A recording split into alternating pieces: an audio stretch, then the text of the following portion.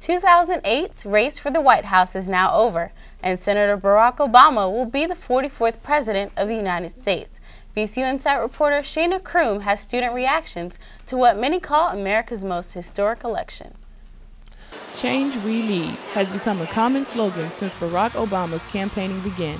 The morning after the election has sparked numerous responses. I think it's a blessing to see like how far we've come it's just like Virginia's blue now, finally. We have a black president and an educated black man as president. So it's very, it's, it's a blessing. I'd say I'm disappointed, very disappointed. And the reason being, I, you know, Barack Obama's ideology just kind of scares me a little bit, but I mean, that's more or less the reason why. I think that it's great for him to be the first African American to become president, and I think it's really great for this country. And I think that it shows that we've made big strides as a country and we've come a really long way. Obama attributes much of his success to his volunteers, like VCU student Josh Cadridge.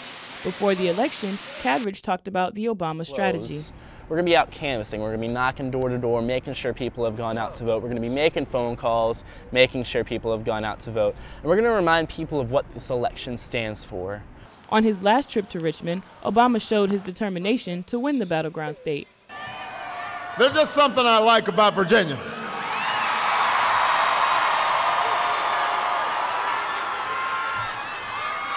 It must be the people.